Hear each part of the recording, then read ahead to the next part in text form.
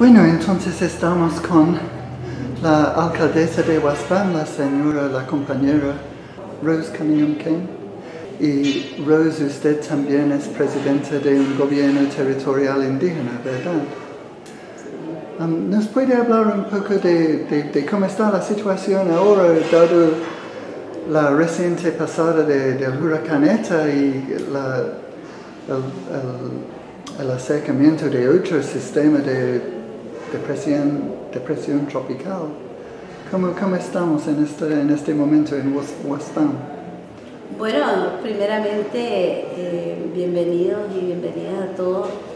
Eh, efectivamente, nosotros en Huaspán hemos tenido en los últimos días que enfrentarnos a tres distintos momentos de los fenómenos, digamos, meteorológicos primero tuvimos esta y para esta eh, nos preparamos en todas las comunidades del municipio eh, para poder proteger nuestras vidas, proteger la vida de todos los que vivimos aquí en el Huanquí.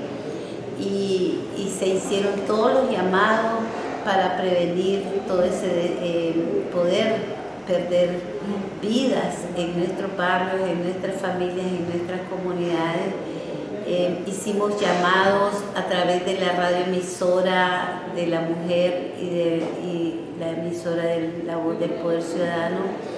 Enlazamos todas las distintas emisoras de las que tenemos aquí en el municipio, pero también fuimos a cada territorio a advertirle a la gente lo que estaba pasando eh, y llevarle la voz a todo el proceso de monitoreo y vigilancia que nosotros desde SINAPRED, como COMOPRED que somos, eh, se desarrolla ante los eventos de desastre.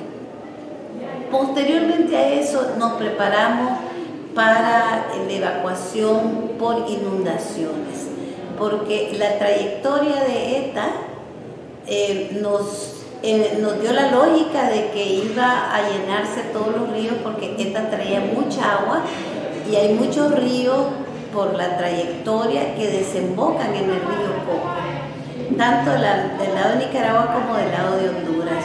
Entonces procedimos a iniciar la evacuación de, de algunas comunidades vulnerables. Entre ellos, pues, eh, eh, tenemos unas comunidades más vulnerables que son las que tradicionalmente se han inundado porque están en la parte baja del río. Eh, nosotros estamos en una zona donde la cuenca del Caribe pues siempre eh, tenemos depresiones y tormentas tropicales y hemos visto pues que estos huracanes cada vez vienen más fuertes, ¿verdad? Eh, evacuamos 30 comunidades, más de 5.000 personas, exitosos, ni una persona herida, ni una persona falleció, que es lo más importante. Em, desarrollamos en 14 albergues actividades lúdicas, em, actividades psicosociales con los niños y, actividades con las mujeres. Em, también se montó todo un sistema de salud, tanto preventivo como de atención médica, con las personas que llegaron a los albergues. y todas las medidas de higiene para la preparación de alimentos y el cuidado del agua de la gente que está en los albergues. Hoy nos encontramos a unas horas ¿verdad? de otro huracán, del impacto de otro huracán que va a afectar, de acuerdo a las trayectorias y las predicciones, va a afectar el municipio de Huaspán. Entonces para esto otra vez volvemos a hacer todos los llamados, la gente se está preparando. Hay una forma tradicional de las comunidades de preservar su vida, de hacer sus albergues en unos techos que están casi contra el suelo, como a un metro y medio del suelo. Ahí se hacen los albergues para que el viento pueda fluir y no hacerle daño. ¿verdad? También estamos utilizando escuelas y eh, también se utilizan iglesias. Así que en este momento estamos haciendo llamados a las comunidades los barrios de Huaspam para que vayan creando las condiciones ya para proteger las vidas de, de las personas que están expuestas eh, y tomar todas las medidas.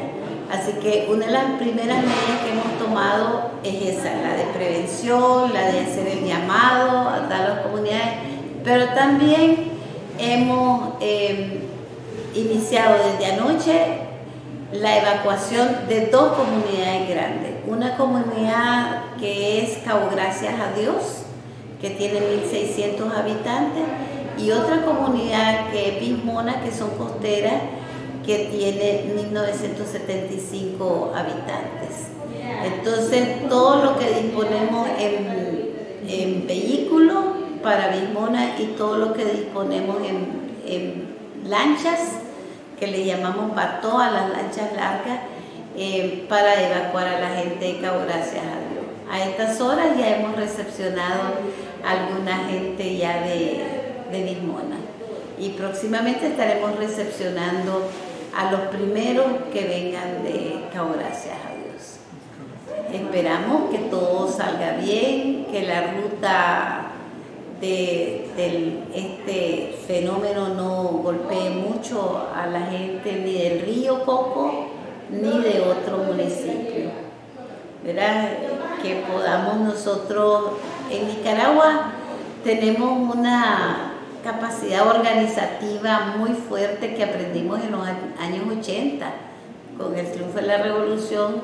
Nosotros aprendimos mucho a, ser personas muy organizadas.